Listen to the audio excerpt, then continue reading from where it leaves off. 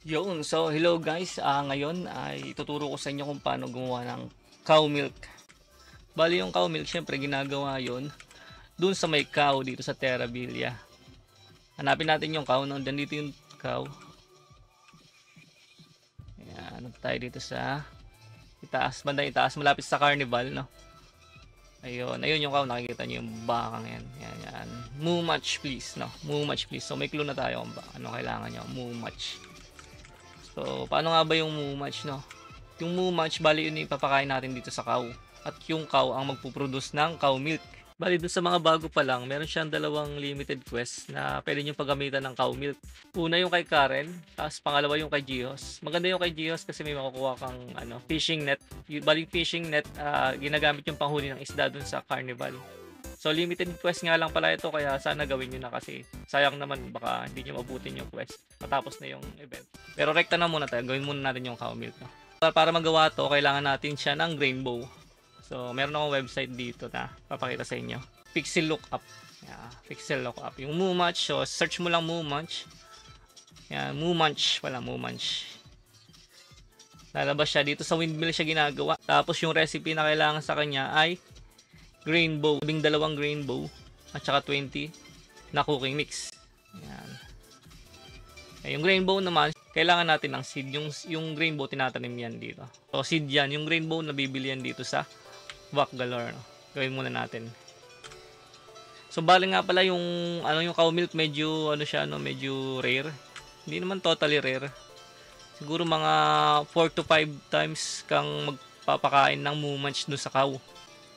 Yan, bili mo na tayong rainbow. Pag-usapan natin mamaya yun pagkain. So dito siya kay ano, kay Hazel. And click mo lang tong table. Tapos hanapin mo yung rainbow seed. Yan, rainbow seed. So bili na tayo so So dahil medyo rare siya 24, 24 na lang, 24. Yan. Pero para magawa din kasi yon kailangan mo ng cooking mix, no? Medyo mahal yung cooking mix kung bago ka pa lang sisimula uh, ah, 20 cooking mix. Bili na ako ng cooking mix. Ayan. Ayan, oh, 85 na. Nakabili na ako ng 85 na cooking mix na. Tapos, yung windmill nga pala, no, para magawa mo yon punta ka lang sa kahit saang land. Ayan. Turo ko na rin sa inyo yung mga basic. Sana mapanood nyo agad to, no, yung mga magsisimula pa lang. Bago matapos yung, yung event. Sayang naman kasi. Punta tayo dito sa Top Farms sa bandang kaliwa.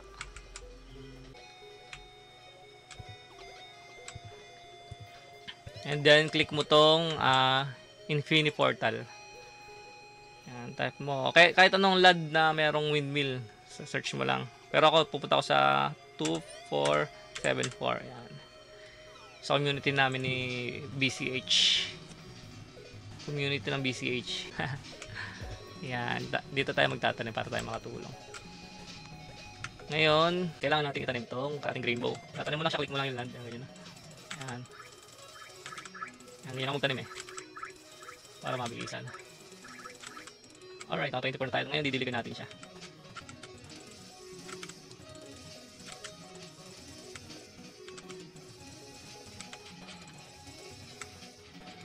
Tapos, hintay lang natin siya, no? After 59 minutes, oh, 1 hour to, totally. Alright, so yan, uh, pwede natin i-share itong ating grain bow. Gagawin natin ay, share na natin. Yan natin. Hmm. Uh, dahil nakuha na natin yung grain bow natin, gagawin natin siyang mumatch. Dahil yun yung kailangan ng ating baka. Click tayo sa mill. Punta tayo sa mill. Yan. Windmill. Mumatch. Yan. Mumatch tayo.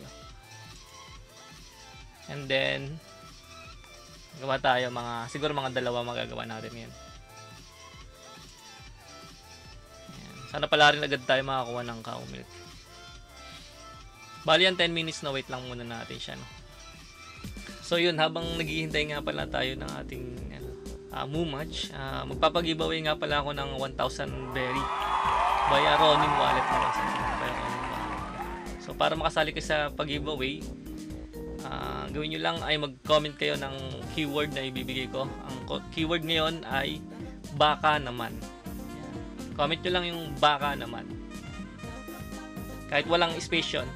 Comment nyo lang doon. Tapos, ah, random pick na lang natin sa comment kung sino mananalo ng 1,000 berry. So, sana ma-appreciate nyo. No? Alam ko malit na halaga lang.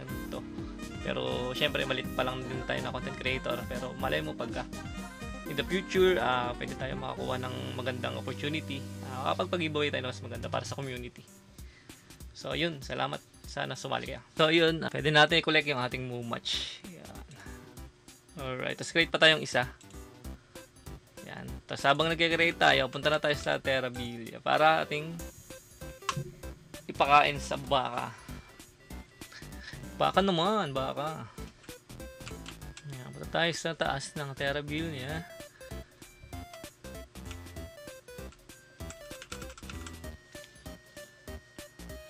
Uy, ganda naman ng NFT nun, no? Gold. Ano, all. Ito yung baka. No, moo much, please, sabi niya. So, ipapakain na natin sa kanya yung ating much. Yan. Yan, bali, ilalagay lang natin sa kanya. Kiklik lang natin yung mismong baka. Gamit yung much. Tapos, yan, makikita nyo, 1 hour and 20 minutes ang kanyang digesting. So, hintayin na lang natin siya. Tapos, eh, ah, dito. Tapos na rin tong isang much natin. Balik na rin natin balik ulit tayo sa Terrabilia. Alright, ah, so ngayon i-check na natin nga kung na-digest na ng ating baka. Ang ating dami tao. Ayun, kitang-kita nyo guys. Oh, yun. So, minalas tayo. Tumae yung baka. Ibig sabihin, pag kinolect natin yan, yan. Countered yan. Countered. Alright. So, yung cow turd naman may pinagagamitan, no? Pwede siyang gawing fertilizer, no? Yan.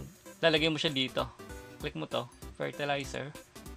Fertilizer. Tapos, kaso dapat maka 20 ka para, ano, makapag-create ka ng ano, kabaga fertilizer. Pero yung EXP niya, yung XP niya, sa Animal Care, 1,300. Malaki rin. Pero dapat naka 20 ka muna. One eternity later. So yun na nga guys, no? After natin maka 3 times na magpakain ng Moo Munch, ayun, makikita mo, nakalagay Milk Me. At napakatindi. Ah, makikita mo nga pala, ayun, no? Kinilik ko na, cow milk. At nalaman ko rin na hindi porket pala naglabas siya ng cow sa kanyang visual yan sa likod, ay wala siyang cow milk, no? So, dapat pala i-check mo pa rin talaga. So, yun, kahit pala, ano, every time na magpapakain ka sa kanya, ng ano, ng Mumunch ay may countered pa rin lagi. So, so hindi ka naman lugi at sure win ka naman lagi sa tae. Tapos mga lodi, nakita ko nung tinapat ko yung mouse nakalagay, milk, milk me more. Pinlik ko, yun, may cow milk pala uli. So, two times siyang naglabas ng cow milk. At sinuwerte pa nga tayo dahil two times, no? Kasi yung iba, one time lang nakakakuha. So, tayo two times.